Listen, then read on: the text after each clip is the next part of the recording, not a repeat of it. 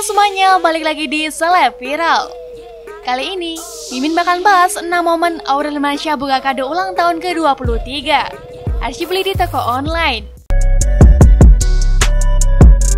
Dilansir dari matamata.com, Aurel Mansyah merayakan momen pertambahan usianya pada Sabtu 10 Juli 2021. Berbagai kejutan, berbagai kejutan diterima Aurel Mansyah dari Atta Linta dan keluarga besar.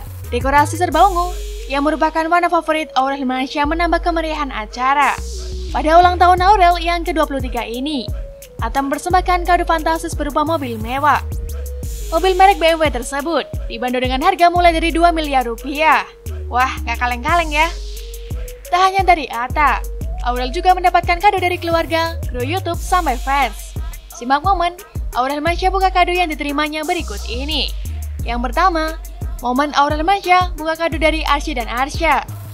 Arsy dan Arsya merupakan adik sambung Aurel Mansyah yang tak ketinggalan menyiapkan kado.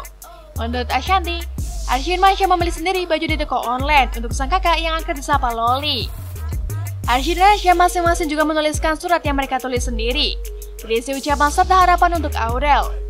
Baju yang dipilih Arsy dan Arsya berupa gamis panjang warna dominan hijau, serta emas di beberapa sisi. Yang kedua, momen Aurel Mansyah buka kado dari Azil Mansyah. Azim membeli sepasang sepatu untuk sang kakak tercinta. Putra anak Mansyah dan Krisayanti ini memilih sepatu sport dengan hak berwarna dominan biru. Surat yang ditulis Azim pun sukses bikin Aurel Mansyah terharu. Ia mendoakan Aurel agar bisa menjadi istri yang baik, serta berjanji akan selalu menjadi pelindung. Yang ketiga, momen Aurel Mansyah buka kado dari Asani dan Anang.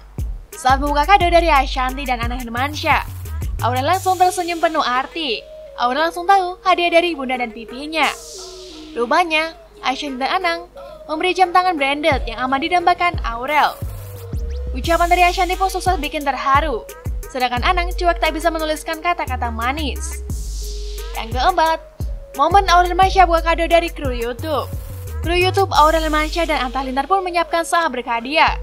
Mulai dari berbagai macam peralatan untuk merawat kucing, kamera polaroid, mixer, lingri, hingga cincin. Aurel memang akan memelihara kucing meski belum sampai di rumahnya. Setelah memberikan kado, para kru belak-belakan meminta gaji dinaikkan bulan depan. Ada-ada aja ya.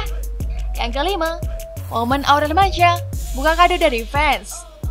Aurel Mansyah dan Atta Lindar memiliki fans yang dinamakan diri sebagai AHA Emak Indonesia, AHA Moms Gang, Al Family, dan masih banyak lagi.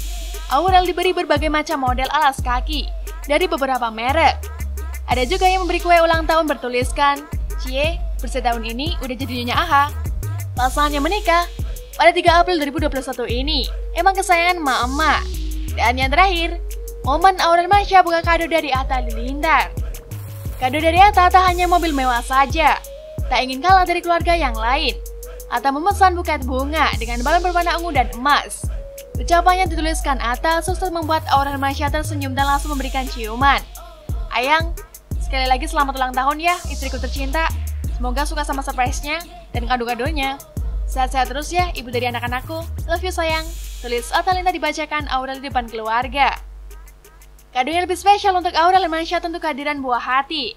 Setelah keguguran, Aurel diduga sudah mengandung anak kata halilintar, meski masih belum diumumkan kepada publik. Kita doakan saja, semoga AHA Junior segera hadir di tengah keluarga kecil mereka ya.